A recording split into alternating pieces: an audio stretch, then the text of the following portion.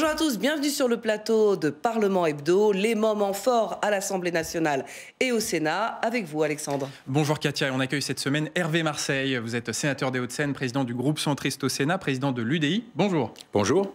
Il y a beaucoup d'actualités pour vous, Hervé Marseille, à commencer par ces trois semaines d'examen au Sénat, mais finalement, nouveau passage en force. Le budget 2023 a été adopté sans vote ce jeudi en nouvelle lecture à l'Assemblée.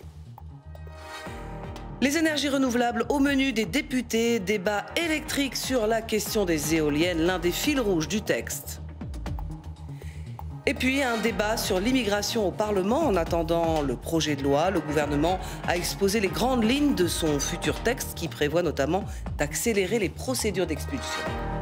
Et le gouvernement a donc utilisé une nouvelle fois le 49.3 pour passer en force le budget à l'Assemblée nationale, et ce après trois semaines d'examen de ce projet de loi de finances au Sénat, où le texte a été remanié en profondeur. Alors retour sur les apports du Sénat au budget 2023 avec Fabien Recker et Flora Sauvage. L'exécutif dégaine un nouveau 49.3 sur le budget à l'Assemblée. C'est la huitième fois de cette mandature que le gouvernement engage sa responsabilité. Reste à savoir ce qu'il gardera des modifications du Sénat. Mardi, au bout de trois semaines de discussion et un record de plus de 2500 amendements, la Chambre haute a adopté un budget 2023 largement remanié avec un mot d'ordre, défendre les moyens des collectivités locales face à la crise. Exemple avec la CVAE, cette taxe sur la valeur ajoutée des entreprises qui bénéficie aux collectivités et que le gouvernement veut supprimer, une suppression rejetée par le Sénat. Il reste, je le disais, deux grands sujets. La suppression de la CVAE, vous avez souhaité supprimer. Et là, je le dis d'emblée, je l'ai dit après le vote, nous proposerons à l'Assemblée nationale de rétablir la suppression de la CVAE. Mais j'ai bien retenu de nos échanges que nous pouvions aller plus loin, être plus clairs sur les modalités de compensation pour les collectivités territoriales.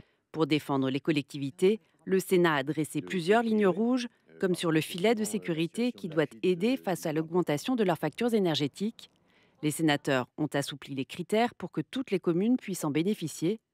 Ils ont aussi supprimé le pacte de confiance du gouvernement qui obligeait les collectivités à contenir la hausse de leurs dépenses sous peine de sanctions inacceptables pour les sénateurs qui redoutent désormais que le gouvernement supprime leurs modifications. Ma crainte aujourd'hui, c'est que ce soit peut-être un signe supplémentaire finalement de cette fatigue démocratique, de cette crise institutionnelle. Le gouvernement ne peut pas se permettre de balayer trop rapidement et d'un revers de main les apports des réflexions et des propositions du Sénat. Il faut vraiment que le gouvernement entende la voix des territoires. Le texte doit revenir en seconde lecture au Sénat jeudi, mais face au blocage entre la Chambre haute et l'exécutif, les sénateurs pourraient décider de ne même pas discuter une dernière fois le budget en rejetant l'ensemble du projet de loi de finances avant même un nouvel examen. Hervé Marseille, avec ce nouveau 49.3 dégainé par Elisabeth Borne, est-ce que le gouvernement banalise ce passage en force face au Parlement? Oui, il n'y a, pas de discussion.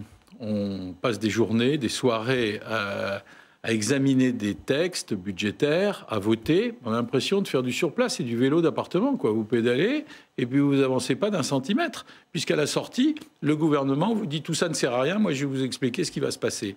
Donc, euh, on a l'impression que le gouvernement n'a pas compris qu'il n'avait plus de majorité à l'Assemblée nationale, qu'il fallait travailler avec l'ensemble des forces politiques.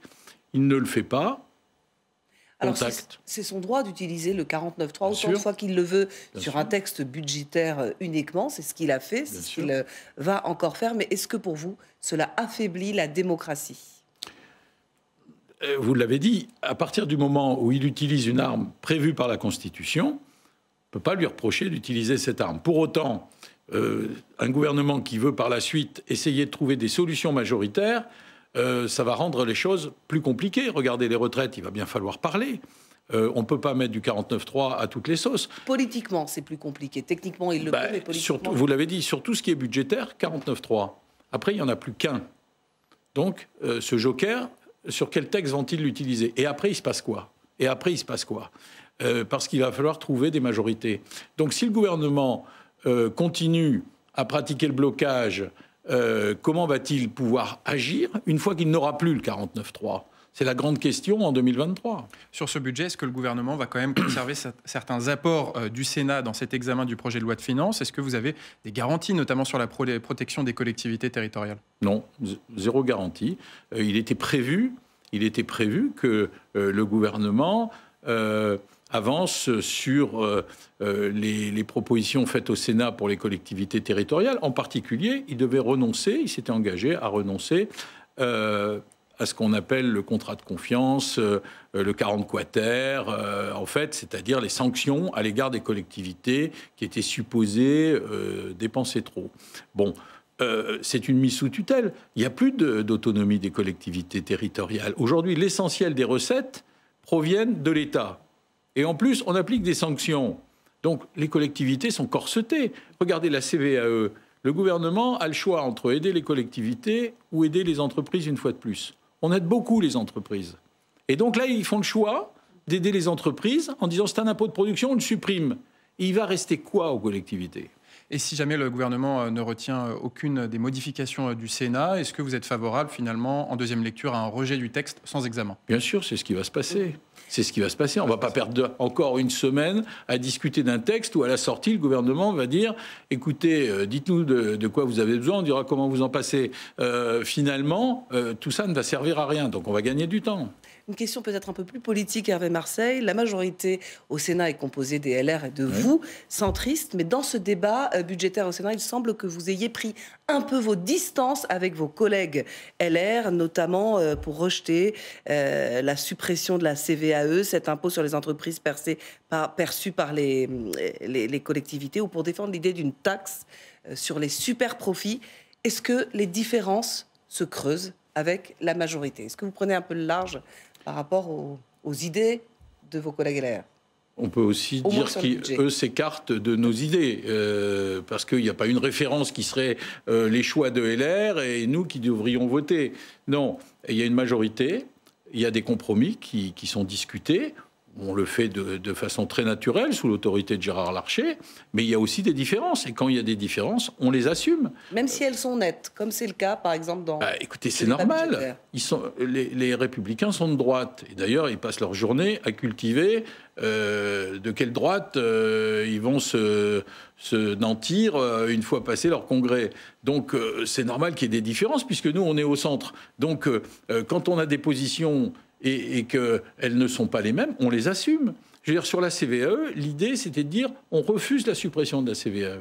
Mmh. Et à la dernière minute, euh, nos collègues républicains ont préféré faire un choix différent. C'est un impôt perçu par les collectivités. Qui est un impôt de production qui pèse sur les entreprises.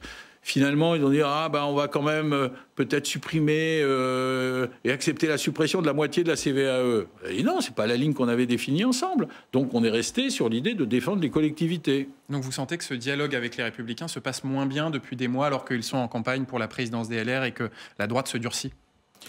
Écoutez, non, ça se passe bien globalement. Simplement, à partir du moment où il y a une campagne interne chez les Républicains, et j'allais dire dans tous les partis, que les socialistes, les communistes, les Verts, euh, même le RN, c'est passé, mais il y avait également des élections internes, euh, bah, forcément, les débats occasionnent des grilles de lecture qui impactent les textes. Et, chez nos amis républicains, bon, bah, il y a une compétition entre euh, différents candidats quelque part, ça impacte forcément la lecture des textes. Alors cette semaine, Hervé Marseille, l'Assemblée nationale a donné le coup d'envoi du débat sur les énergies renouvelables, un projet de loi destiné à combler le retard français par un développement massif de panneaux solaires et d'éoliennes. C'est l'un des points de crispation du débat. On va voir ce compte-rendu de séance fait par Elsa Mondingava. Le mot ne figure même plus dans le projet de loi, mais ce sont bien les éoliennes qui ont cristallisé les débats. À droite et à l'extrême droite, on aimerait soit instaurer un droit de veto pour les maires, soit imposer un moratoire. Il faut que nos compatriotes soient au courant de ce qui, se joue avec ce texte.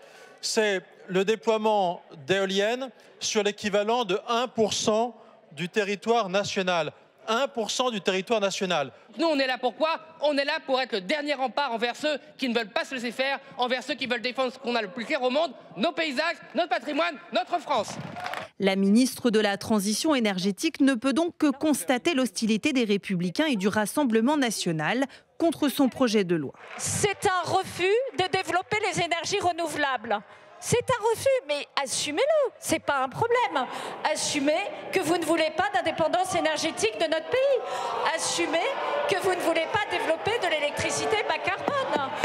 Assumez que vous préférez laisser les Français dans le noir demain plutôt que de sortir des énergies fossiles. C'est donc vers la partie gauche de l'hémicycle que le gouvernement compte se tourner pour obtenir une majorité. Mais il faut encore convaincre. Avec vous, sur ce texte, nous avons trouvé un dialogue véritable, exigeant, parfois compliqué mais constructif, et qui a, nous le pensons, permis à chacun d'évoluer sur ce texte. Eu égard au chemin parcouru par ce texte, avec des plus et des moins, nous restons très attentifs au débat. Nous ne sommes pas à l'abri de mauvaises surprises ou de bonnes surprises pendant les temps de nos débats. Les députés ont encore une semaine pour examiner ce texte, sur lequel le gouvernement a exclu la possibilité de recourir à l'article 49.3. Hervé Marseille, alors ce droit de, veto souhaité par LR et par le Rassemblement euh, national, les députés euh, qu'on a entendus euh, dans l'hémicycle, est-ce que pour vous, c'est une bonne idée, ce droit de veto des maires sur les projets futurs d'éoliennes? Non, ce n'est pas une bonne idée. D'ailleurs, nous l'avons dit.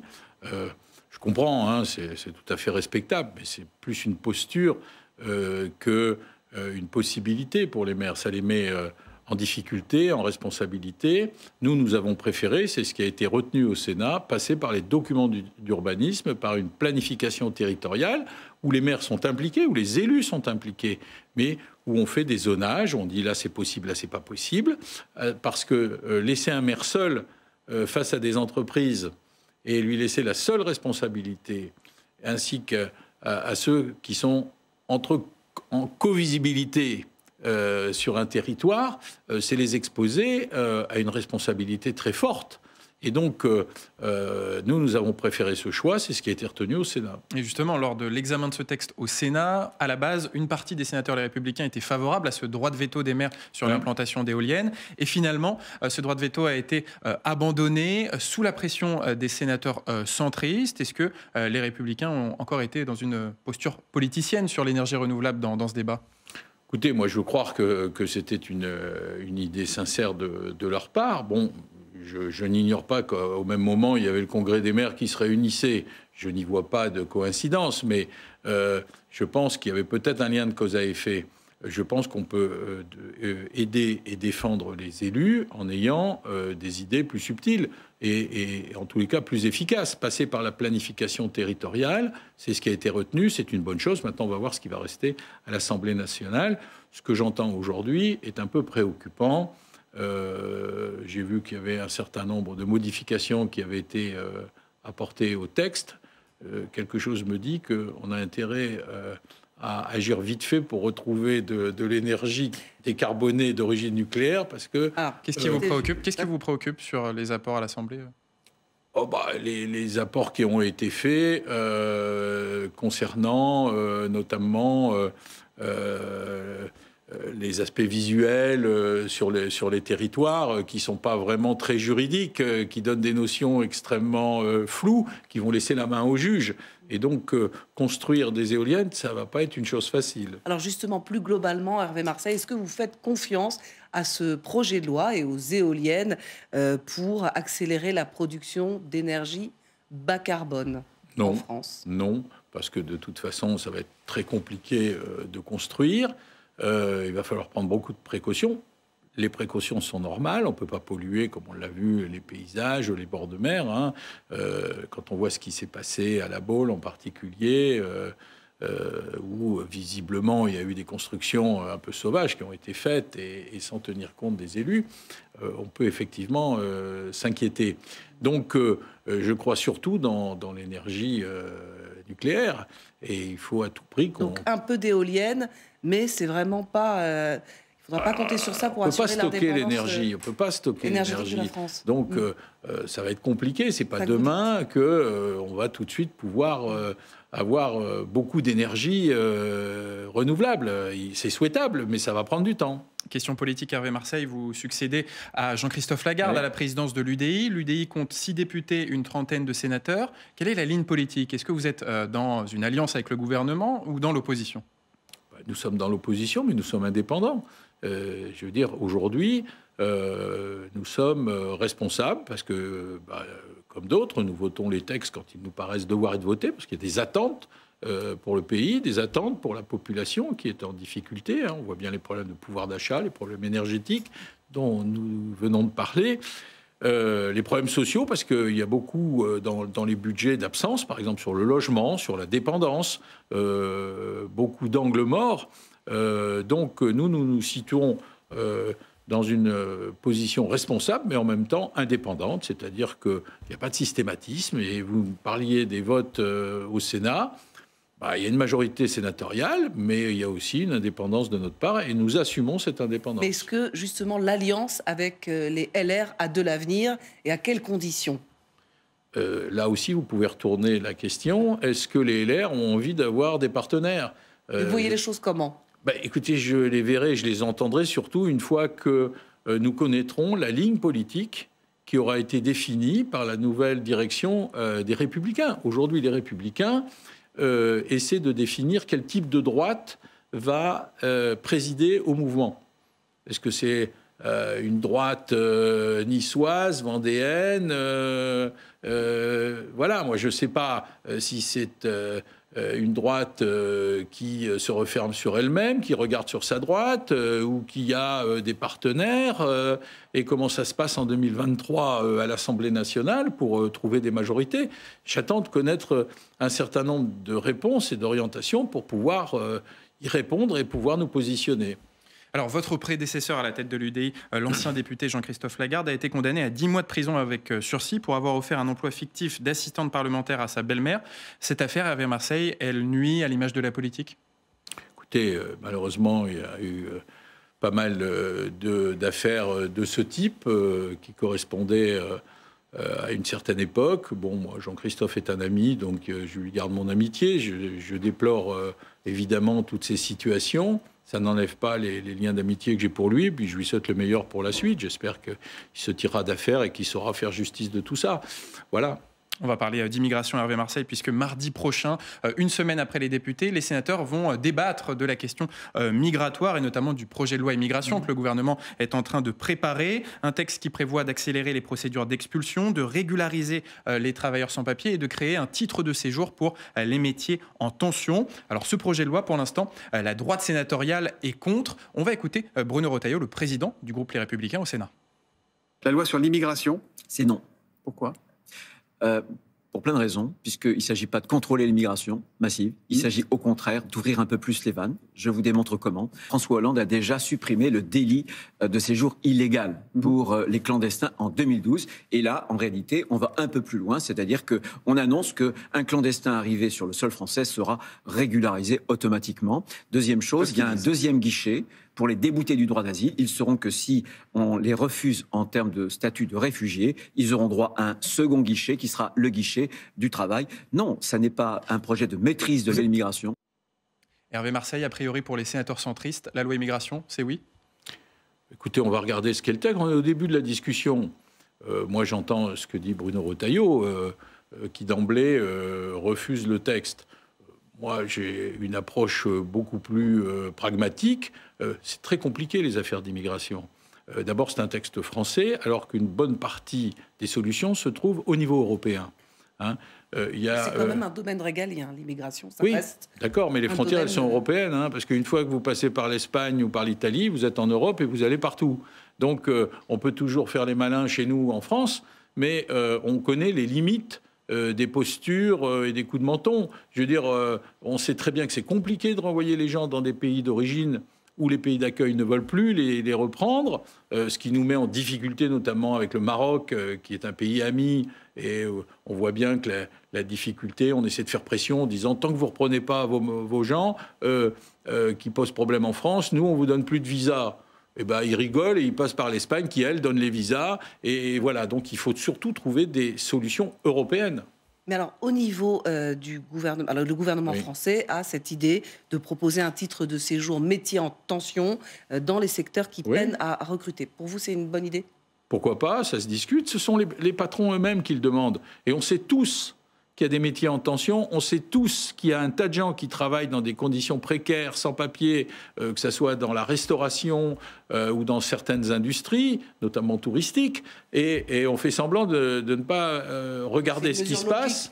Bah, il y a une forme de logique. Après, il faut encadrer tout ça, il faut regarder comment ça peut marcher, il faut être pragmatique, parce que si c'est simplement pour dire, écoutez, on va renvoyer les gens chez eux, on laisse plus passer personne, et puis on ne peut pas accepter les régularisations, on sait très bien que ça ne marche pas, on sait très bien que ce n'est pas la réalité des choses. Je crois qu'il y a un vrai débat européen qui doit être mené, puisqu'il y a un pacte d'immigration qui a été lancé en, 2020 qui pour l'instant patine. Entre-temps, il y a des dispositifs euh, de solidarité qui ont été mis en place. C'est compliqué, on voit bien avec nos amis italiens.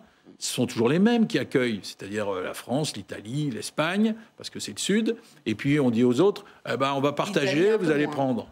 Oui, mais pourquoi croyez-vous que Mme Mélanie a été élue? Parce que les Italiens, ils en ont un peu, un peu assez d'accueillir toute la misère du monde. Et à chaque fois, on a inventé un truc formidable qui s'appelle la dublinisation, les accords de Dublin. C'est-à-dire que quand on attrape quelqu'un sur le sol européen, par exemple à Calais, on dit par où es-tu arrivé? Il dit par Lampedusa. On le renvoie à Vintimille en lui disant euh, bonne chance, euh, tu verras, c'est formidable l'Italie.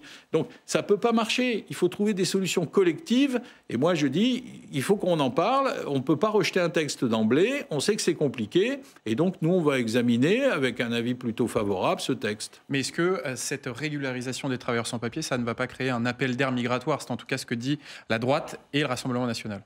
Oui, mais moi je veux bien qu'on court à droite toutes à chaque fois qu'on parle de domaine régalien. Il y a quelqu'un qui est formidable et qui réussit à tous les coups dans ce domaine, c'est Madame Le Pen. S'il y en a une qui récupérera, c'est elle. Donc, euh, je crois que quand on dit qu'on est des partis de gouvernement, qu'un jour on a vocation à retourner euh, au gouvernement de ce pays, on essaie d'avoir des attitudes et des propositions qui soient réalistes et euh, dont on pourrait s'inspirer le jour où on est en responsabilité. Si c'est pour dire la même chose que Mme Le Pen ou que M. Zemmour, euh, bah, c'est pas la peine de se fatiguer, hein, il y a déjà les recettes. Donc là, les LR courent un petit peu après Mme Le Pen sur l'immigration? Je ne sais pas ce qu'ils font, c'est à eux de décider. Mais en tous les cas, ils seront jamais meilleurs que ces deux-là. Alors, ce projet de loi qui va être présenté, on, le dit, en, février au Sénat, mmh. en mars à l'Assemblée, mais enfin, il a déjà été repoussé une fois.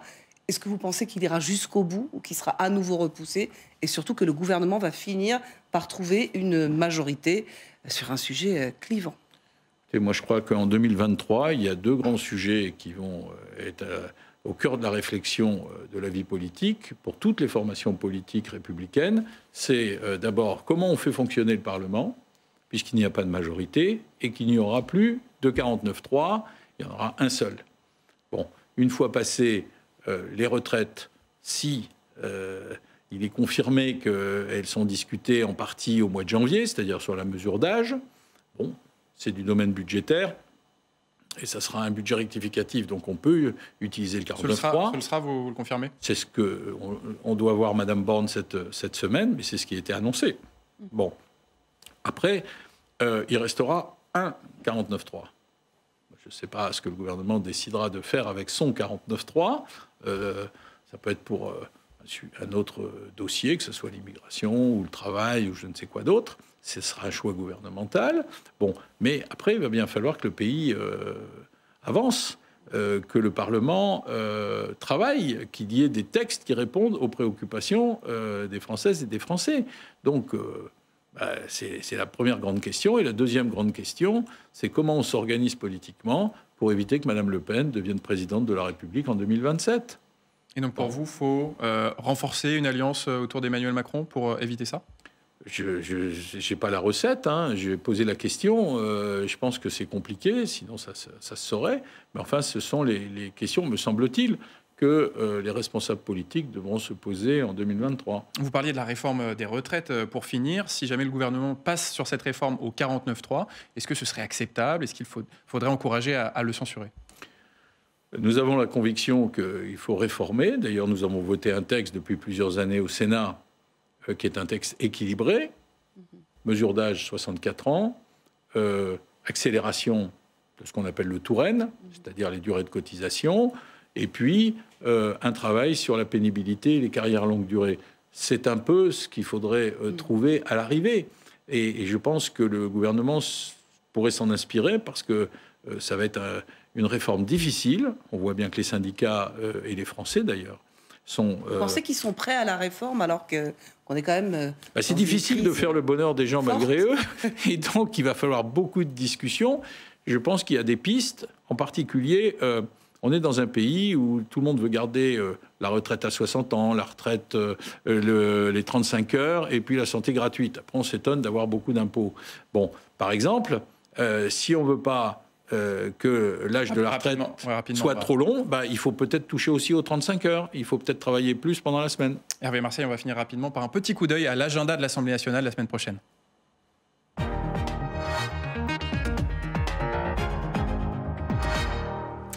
Le moment fort à l'Assemblée nationale, ce sera la lecture définitive du budget. On en parlait, Hervé Marseille. Ce sera jeudi 15 décembre. Faute d'accord, le gouvernement devrait utiliser une ultime fois l'article 49.3 de la Constitution pour faire passer le budget. Et c'est la fin de cette émission. Merci beaucoup Hervé Marseille d'y avoir participé et merci à tous de l'avoir suivi.